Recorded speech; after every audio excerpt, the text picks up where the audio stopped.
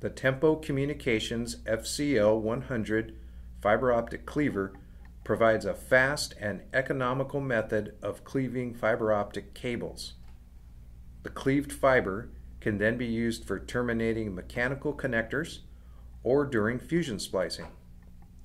The fiber can be cleaved in lengths of 2 millimeters up to 20 millimeters. Remove the fiber optic jacket, including approximately 1.5 inches of the acrylic coating. Press the fiber holding lever down and insert the cleaned fiber into the V groove until the tight buffer reaches the mark on the scale for the desired cleave length.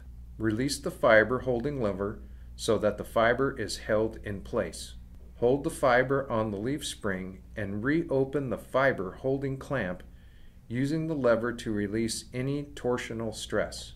Release the blade lever. Carefully bend the leaf spring down while continuing to hold the fiber against the leaf spring. Bend the leaf spring just enough to cause the fiber to cleave. Do not overbend the leaf spring as this may damage the leaf spring. Dispose of the fiber end cut in an approved disposal unit.